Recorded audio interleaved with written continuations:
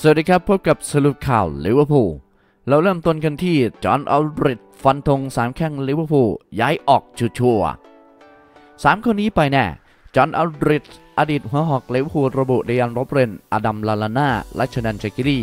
ต่างก็จะเป็นคนที่จะต้องย้ายออกจากถิ่นแอนฟิลด์พร้อมชี้ตอนนี้นักเตะชั้นยอดต่างๆ ก็อยากมาอยู่กับหงส์แดงด้วยกันทั้งนั้น จอห์นอัลดริดจ์นะอดีตนักเตะเก่งของสโมสรลิเวอร์พูลยอดสโมสรในสื่อวงการพิมพ์อังกฤษ แสดงความเชื่อใจว่าเดยัน ลอฟเรนอดัมลาลาน่าและเชอร์ดานชากิรี่จะเป็น3นักเตะของหงส์แดงที่จะย้ายออกจากทีมลิเวอร์พูลชุดนี้กำลังทำผลงานได้อย่างยอดเยี่ยมจนนำโด่งเป็นจ่าฝูงของตารางคะแนนด้วยการทิ้งห่างแมนเชสเตอร์ซิตี้เป็นอันดับที่ 2 มากถึง 16 แต้มแถมลูกทีมของกุนซือเจคเกนครอปก็ยังเล่นน้อยกว่าอีก 1 เกมอีกด้วย อย่างไรก็ตามนะครับ ตลอดเวลาที่ผ่านมาก็มีหลายคนที่ตกเป็นข่าวเกี่ยวโยง กับการย้ายออกจากถิ่นแอนฟิลด์อยู่เหมือนกัน โดยทางด้านจอห์นอัลริชเผยผ่านคอลัมน์ของตัวเองใน The Independent สื่อชื่อดังของอังกฤษว่า ผมพอจะเห็นเลยนะครับว่าลอเรนอดัมลาลาน่าและชอยกิลี่จะต้องย้ายออกจากทีม ดังนั้นเจคกินครอปอยากที่จะแทนที่นักเตะเหล่านั้นด้วยคนอายุน้อยๆ และมีความกระหายในชัยชนะ ซึ่งถือว่าเป็นคนที่เข้ากับแผนการทำทีมของ JK ติโวเวเนอร์ก็นักเก่งของเรสบูอาบาลาซิกน่าจะเป็นการเสริมทัพที่ยอดเยี่ยม และมันก็ถือว่าเป็นเรื่องที่น่าชื่นชมสำหรับลิเวอร์พูลที่นักเตะทุกคนอยากจะเป็นส่วนหนึ่งในความสำเร็จของพวกเขา ในขณะที่เมื่อไม่กี่วันก่อน ผมก็ได้อ่านบทสัมภาษณ์ที่คีลิยันเอ็มบัปเป้กองหน้าซุปเปอร์สตาร์ของเปแอสเชปารีสแซงต์แชร์กแมง พูดสรรเสริญลิเวอร์พูลอีกด้วย มันเป็นการยืนยันได้เป็นอย่างดีว่าบรรดานักเตะที่เก่งที่สุดในโลก ต่างก็ประทับใจกับเรื่องราวที่เจอร์เก้นคล็อปป์ทำมันขึ้นมา ฉะนั้นแล้วนะครับจะมีนักเตะเก่งๆมากมาย และจะมีนักเตะดังๆอยากจะย้ายมาค้าแข่งกับลิเวอร์พูลโดยเฉพาะผู้จัดการทีมที่ชื่อเจอร์เก้นคล็อปป์นั่นเองนะฮะ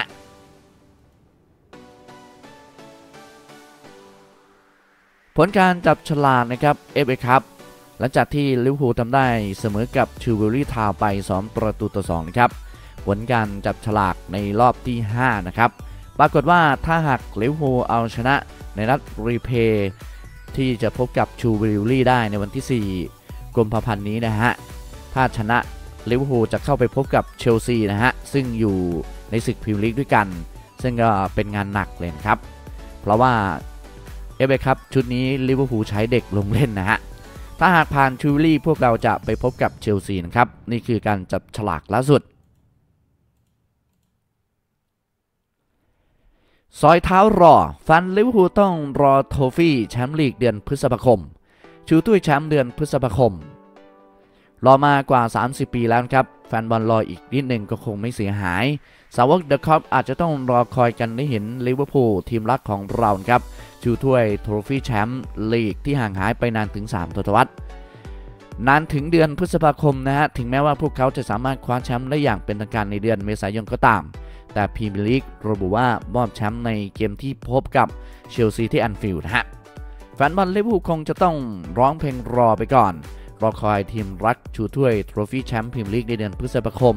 ถึงแม้ว่าพวกเขาจะสามารถคว้าแชมป์ลีกสูงสุด ที่รอคอยมานานกว่า 30 ปี ได้เร็วกว่าก่อนกำหนด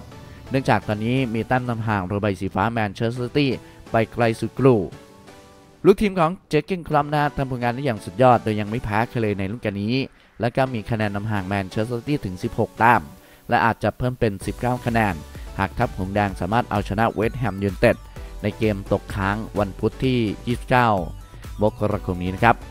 นอกจากนี้หากทีมเอาชนะเซาท์แฮมตันได้ในวันเสาร์ก็จะทำให้พวกเขามีแต้มนำห่างออกไป 22 คะแนน ซึ่งแน่นอนว่าสถานการณ์แบบนี้ทำให้แมนเชสเตอร์ซิตี้กดดันอย่างหนัก เนื่องจากลูกทีมของกุนซือโจเซฟเป๊ปกูล่าจะดวลกับไก่เดือยทองท็อตแนมสเปอร์ในวันอาทิตย์ที่ 2 กุมภาพันธ์ ถ้าหากเดอะเรดส์กับแมนเชสเตอร์ซิตี้ยังคงเดินทางคว้าชัยชนะในเกมของตัวเองได้อย่างต่อเนื่อง นั่นหมายความว่าลิเวอร์พูลจะคว้าแชมป์ทันที หากคว่ำเรือใบสีฟ้าที่สนามเอติฮัดสเตเดียม ในเกมลีกเมื่อวันที่ 4 เมษายน ซึ่งเป็นแมตช์ที่ 32 ของซีซั่นเท่านั้น ด้วยสถานการณ์ปัจจุบันครับลิเวอร์พูลของพวกเราจะคล้ายคลึงกับปีศาจแมนเชสเตอร์ยูไนเต็ดในฤดูกาล 2000ถึง2001 ที่พวกเขาประกาศคว้าแชมป์ลีกได้อย่างเป็นทางการ หลังจากเอาชนะโคเวนทรีซิตี้ 4-2 ในเกมนัดที่ 33 ของซีซั่นในวันที่ 14 เมษายนในปี 2001 อย่างไรก็ตามนะครับเดอะแอตแลนติกสื่อในเมืองผู้ดีระบุว่าพรีเมียร์ลีกมีมตินะฮะ ว่าจะนำ trophy แชมป์ลีก ไปมอบให้กับเจอร์เก้นคล็อปป์และลูกทีมของเขา ในเกมที่จะลงเล่นในแอนฟิลด์ในแมตช์ที่รับการมาเยือนของเชลซีในวันที่ 9 พฤษภาคม เพราะแมตช์สุดท้ายของซีซั่นพวกเขาต้องออกไปเยือนนิวคาสเซิลยูไนเต็ดนั่นหมายความว่าพวกเขาจะต้องรอถึง 1 เดือน หลังจากเกมที่พบกับแมนเชสเตอร์ซิตี้ครับก็สำหรับแอดมินแล้วรอก็ไม่มีปัญหานะครับเราแชมป์อยู่แล้วนะฮะไม่กลัว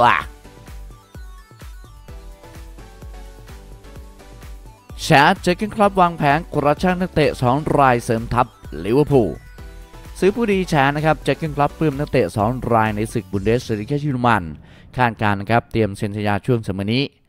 เจอร์เก้นคล็อปป์กุนซือลิเวอร์พูลทีมจ่าฝูงศึกพรีเมียร์อังกฤษ วางแผนจะเซ็นสัญญาคว้าตัว เจดอนซานโช ปีกตัวเก่งของโบรุสเซียดอร์ทมุนด์และทีโมแวร์เนอร์กองหน้าตัวเก่งจากแอร์เบไลป์ซิก ทีมดังในศึกบุนเดสลีกาเยอรมันนะครับ โดยแหล่งข่าวก็คือ Daily Express สื่อในเมืองผู้ดีรายงานเมื่อวันจันทร์ที่ 27 มกราคมว่านายใหญ่ชาวเยอรมันเป็นแฟนบอลตัวยงของซานโช นอกจากนี้ยังชื่นชอบสไตล์การจบสกอร์ของแวร์เนอร์อีกด้วย และคาดหมายว่าเตรียมข้อเสนอที่น่าสนใจ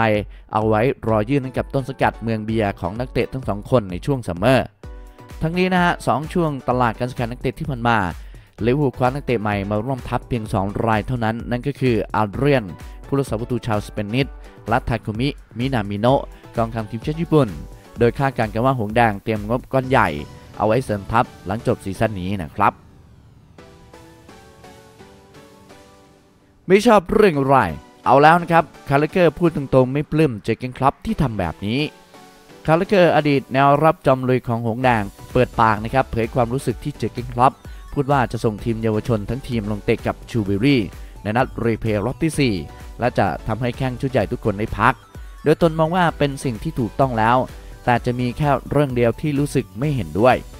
เจมี่คาร์ราเกอร์ครับอดีตปราการหลังจอมทุ่มเทของลิเวอร์พูลทีมชั้นนำในศึกพรีเมียร์ลีกเกรดออกโรงหล่นความคิดเห็นถึงจุดยืนของเจอร์เก้นคล็อปป์เทรนเนอร์จอมวักชาวเยอรมันนะฮะ ในเรื่องการส่งทีมชุดเยาวชนลงเตะ FA คัพในรอบหน้า โดยรู้ว่าอันที่แท้จริงแล้ว ตนก็เห็นด้วยในหลายเรื่อง แต่จะมีอยู่สิ่งเดียวที่ตนมองว่าเทรนเนอร์ชาวเยอรมันรายนี้อาจจะทำไม่ถูกต้อง คาร่าให้ความคิดเห็นถึงเจอร์เก้นคล็อปป์ที่ประกาศว่าจะส่งแข้งเยาวชนลงสนามทั้งหมดในแมตช์ที่พบกับชรูว์สบิวรี่ในนัดรีเพย์รอบที่ 4 และจะให้ผู้เล่นทีมชุดใหญ่ทั้งตัวจริงและตัวสำรองได้พักทุกคน โดยกล่าวว่าการให้ผู้เล่นในระดับซีเนียร์ได้พักในช่วงนี้หนาวถือเป็นเรื่องที่ถูกต้องแล้ว แต่ผมเห็นว่าเจคกินคลับควรจะอยู่คุมทีมที่ข้างสนามในวันนั้นด้วย ถ้าเขาอยู่ที่นั่นมันจะทำให้ผู้เล่นดาวรุ่งรู้สึกดี แล้วทันใดนั้นเองเราก็อาจจะได้เห็นภาพของเขาที่เกาะอีบิซ่าดื่มเบียร์อยู่ ขึ้นเป็นหน้าหนึ่งของสื่อเกือบทุกเจ้าอดีตแนวรับผู้ซื่อสัตย์ร้ายยาวนะครับ ก็อยากจะให้ JK คุมข้างสนามนะฮะเพื่อเป็นกำลังใจให้เด็กๆอันนี้แอดมินก็เห็นด้วยนะฮะแต่คนเรามันก็ต้องมีการพักกันบ้างครับ เพราะว่ากรำศึกหนักเหลือเกินนะฮะ อันนี้ก็ ให้เป็นการตัดสินใจของเจอร์เก้นคล็อปป์กันดีกว่านะครับ อันนี้ก็คือความคิดเห็นของเจมี่คาร์ราเกอร์นะฮะนี่คือสรุปข่าวลิเวอร์พูลครับประจำวันที่ 28 มกราคมนะครับในปี 2563 นะฮะแฟนบอลเชิญร่วมเป็นส่วนหนึ่งในการเชียร์ลิเวอร์พูลกับ The Cup แฟนบอลพันแทนครับ จะมีข่าวทุกวันนะครับ เช้าเย็นแล้วก็บทความฟุตบอลชอบกดไลค์ชอบกดแชร์เพื่อเป็นกำลังใจให้กับทีมงานด้วยนะครับ แล้วกลับมาพบกันใหม่ สวัสดีครับ